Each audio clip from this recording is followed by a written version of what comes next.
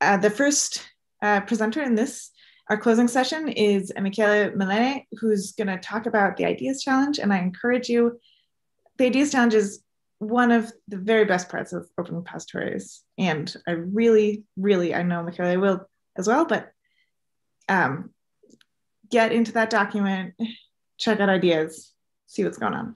Mick, over to you. Thank you, Leila. And uh, and and and and all, uh, whatever the time of, of, of the day it is. I don't know how many of you were uh, were up uh, last night at 3 a.m. Uh, I wasn't, to be honest, uh, but it was 3 a.m. for me. So anyway, so this is the last session, and as we started with presenting what happened in the past year for the Ideas Challenge, we want to close um, uh, this year, uh, uh, this conference as well, just trying to push uh, the engagement uh, in, in a new virtual uh, year-long ideas channel for the, this year as well. Uh you, if you haven't seen it yet, I'm sharing uh this in the chat. Uh. there's a link where you can already see ideas generating, which is amazing and uh, you'll find already four ideas there. I'm not going to take too long in this presentation. Obviously, if there's anyone who's already uh, added the idea um, uh, to the document, if you want to share it uh, openly now, uh, you have some minutes to do so. Uh, that document will will stay where it is for for for a few days, maybe a week, maybe two, uh, in order for you to go there, check, add your ideas, or add your name to the list of of um, uh, of of the teams of the different ideas. If you really like one of one of the idea, you want to participate in that. Uh, the next phase uh, will be very similar to what we did last year. Uh, which is organize another meeting where all the ideas will be pitched to the community. Uh, uh, kind of framed and, and, and the teams will be formed. And once the team uh, are formed, as Thomas very well explained at the beginning of this conference, you'll have the chance uh, to, to meet throughout the year, uh, to chat uh, in using the Slack channel, to use that document to share comments and then move ahead. And if you create um, an idea and you progress on that idea uh, uh, and uh, and and you reach a point where you are confident in sharing that with the rest of the community uh, next year possibly in person you'll have the chance to do so at the next OR. Uh, uh, this is the way that we we thought for for linking the different conferences and create um, uh, some sort of connections uh, uh, be between the different uh, conferences across the world. Um, as, I, as I said before, I, I don't want to take too much time because I, I love the ideas to talk more. so if there's anyone who, who interested in, in, in sharing a, a, bunch of ideas that they're adding to the document, feel free to do so. if not, uh, once again, the document is there and uh, the Slack channel is there as well. Uh, add your email so I, we can uh, contact you in the next few days uh, to organize the next meeting on that. If you have questions, obviously I'm here to answer. Uh, I'm, I'm on Slack and I'll add also my email just in case you want to reach out. And that's it for me.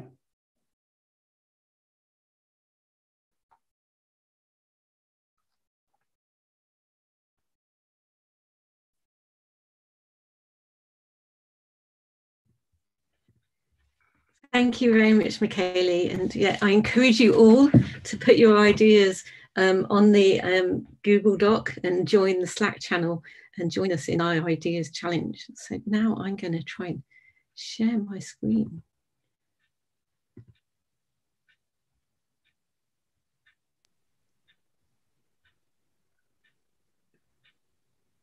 So while she's setting that up, um, uh, if you don't know her, this Claire Knowles is the um, is University Leeds, and she's the rising chair of the Open Repositories Steering Committee, and we're very lucky to have her.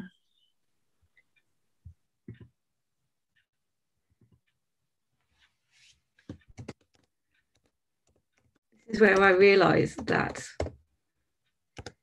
um, my Mac doesn't allow me to share screens on Zoom. Let me see if I can.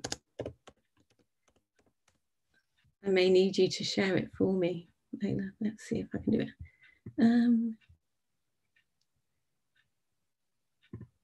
yeah, sorry, Layla, can you share? Because I'm gonna, it's gonna chuck me out if I try to share. closing slides. Yeah, just pulling them up. I'm afraid I'm going to use you as a buzzer and go next slide.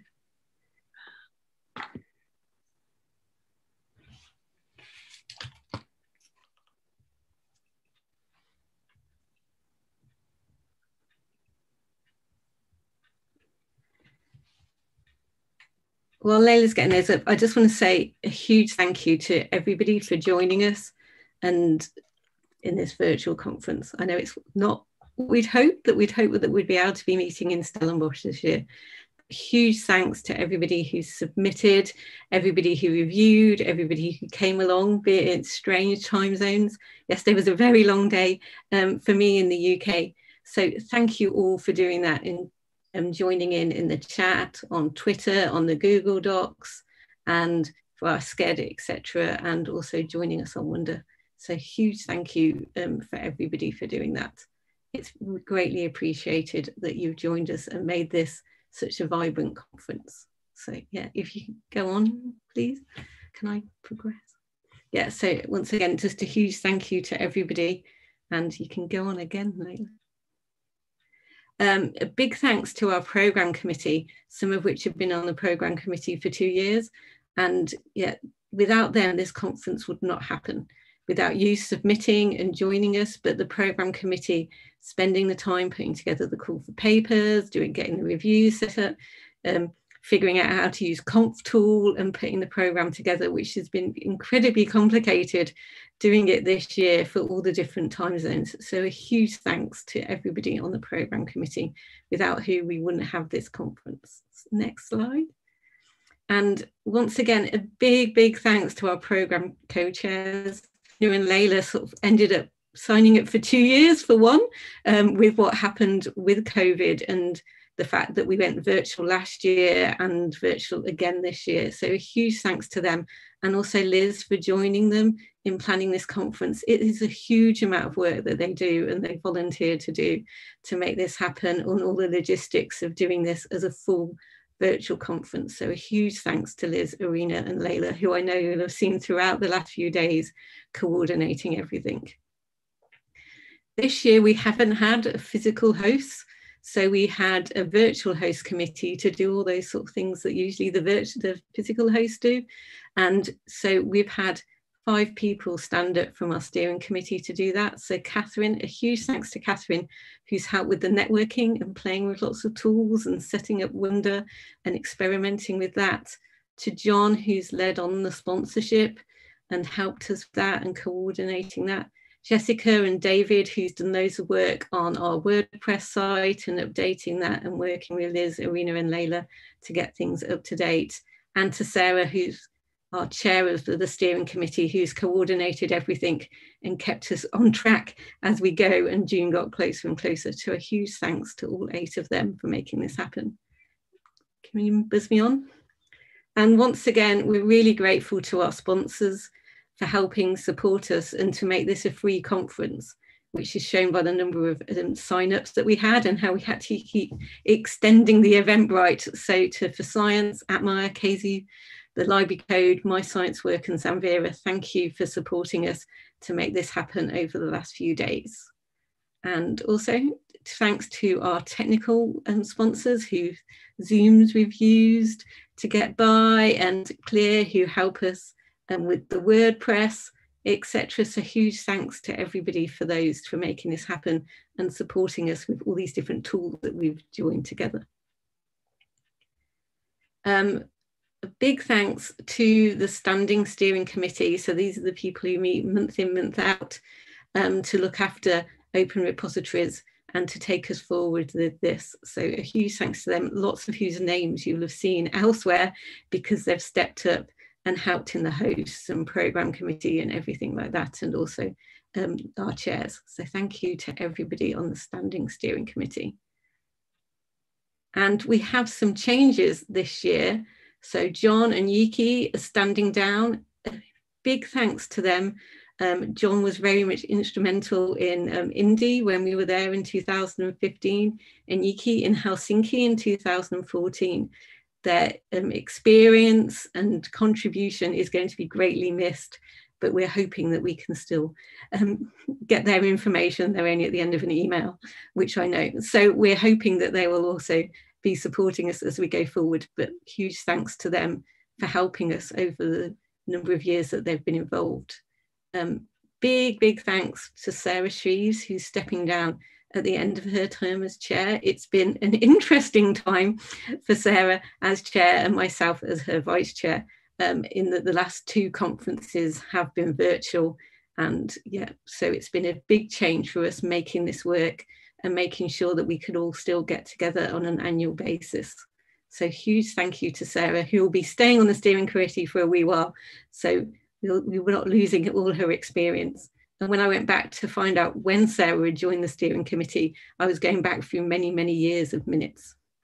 Um, I will be stepping into the chair role of the steering committee and welcoming Torsten Reimer from the British Library as vice chair. So we're very looking forward to taking us forward and learning from this experience that we've had of doing these virtual conferences as we move forward to next year.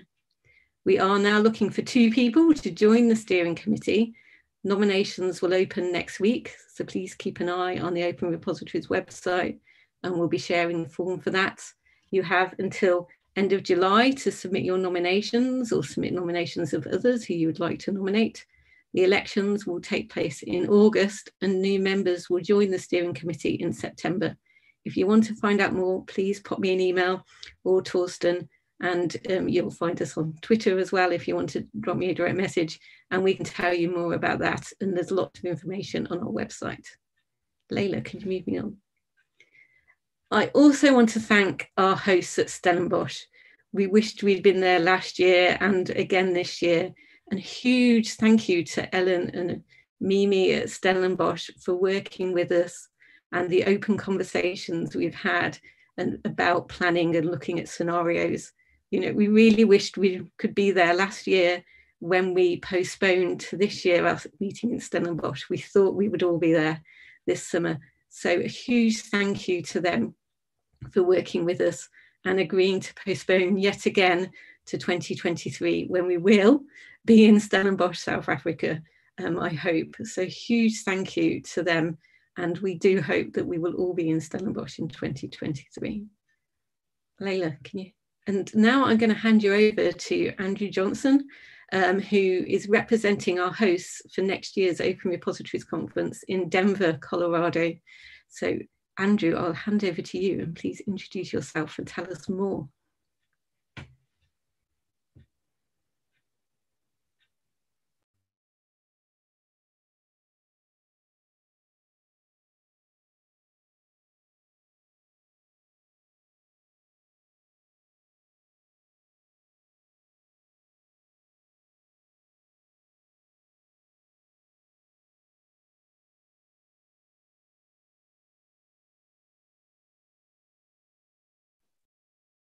Looks like Andrew is muted. Hi, everyone. Can you hear me? Yes, we can hear you. Great. Excellent. So I guess I will share my version of the slide so I can advance them. I'll try at least. Let's, let's give that a shot.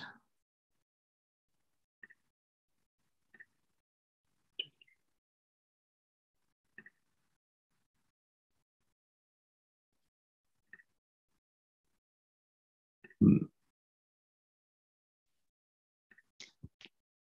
I can do slides for you, Andrew, if you want to. I can get in the same problem that Claire had. So.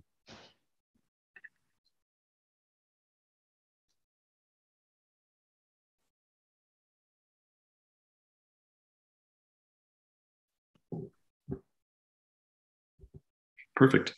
So yes, uh, as just noted, uh, I'm Andrew Johnson from the University of Colorado Boulder Libraries, here representing uh, the group that originally, um, way back in our previous era of 2019 uh, wrote the proposal to host Open Repositories 2021. So, uh, what's happening right now, um, which for obvious reasons has now been moved back to 2022 and has become Open Repositories 2022. So, we are very uh, excited to serve as the hosts. And I'm going to give kind of my uh, version of a uh, tourist promotional video uh, via slides and a, a, little spiel that I wrote. So next slide, please. So I wanted to start uh, by acknowledging that it's been a long and winding road back to even get to a place where many of us can start thinking about a return to things like in-person conferences. Um, and I'm going to apologize off the bat for the obvious lack of subtlety in my visual metaphors. Um, obviously, this is a literal photo of a long and winding road, so that's about as creative as I get but this is in in beautiful Colorado, uh, as will all the the pictures coming uh, later in this promo. Um, anyway, and in all seriousness, uh, we know that conference travel may still be a way off for a lot of people around the world for a lot of different reasons. Um, but if in-person conferences are in fact on the next slide, please. Horizon. See what I'm doing here. What better place to make a triumphant return than next slide Open Repositories 2022 in beautiful and vibrant Denver, Colorado. Um, next slide, please. OR 2022 in Denver will be hosted by the Colorado Alliance of Research Libraries, a nonprofit consortium of 16 libraries in the states of Colorado and Wyoming, um, including several large research libraries, a mix of public and private universities, and one public library as well. Uh, next slide, please. If, we're, if you're unfamiliar, uh, Denver is one of the major hubs of the US Mountain West region with world-class amenities and attractions, makes a fantastic launching off point for trips throughout the American West, or even you know via relatively short flights to basically anywhere in North America. Uh, Denver International Airport is one of the most centrally located major airports in the country, with 20 plus airlines flying to and from more than 200 domestic and international destinations. And it's connected conveniently to downtown Denver via light rail and other types of ground transportation, including straight here to uh, Union Station, which houses, houses a hotel, shops, and some great restaurants. Next slide, please. Uh, it goes without saying, I think, that one of the best things about Denver's location is our close proximity to the Rocky Mountains with spectacular outdoor recreational activities, natural beauty, including the amazing Rocky Mountain National Park, uh, where this photo was taken, which is just a relatively short drive from the city. Uh, hiking, rock climbing, fly fishing, cycling, mountain biking, ziplining, river rafting, kayaking, wildlife viewing are all within easy drives from Denver in early summer. And if that's not enough, Denver is also a bustling major city with everything one would expect in terms of fantastic restaurants and over 60 craft breweries in the metro area.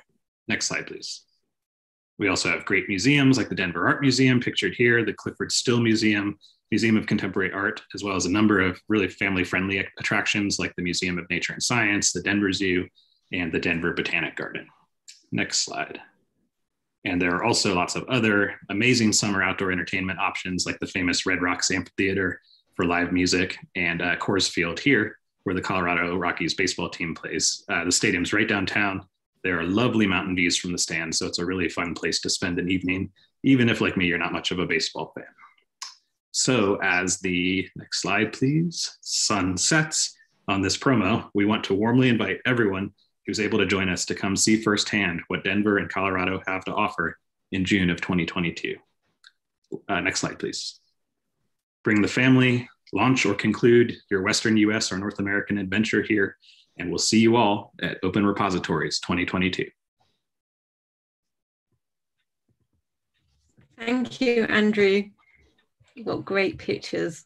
Um, we hope that we can meet together in person um, in 2022. We will be sending out a survey at the end of the conference to attendees to find out more about your experiences of this year and also um, what you're looking forward to next year and possibles of travel, etc. We understand the current situation that we're all in and we're looking forward to finding out more about your expectations for next year as well.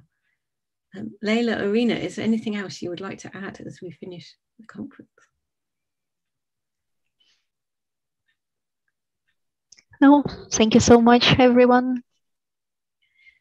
Thank you all, and thank you everybody for coming and joining us. It's been a great few days, and I wish we could have seen each other in person, but it's great to get together um, virtually and see so many people being able to join us across the world in many, many different time zones. So thank you all for joining us and I wish you well for the coming year.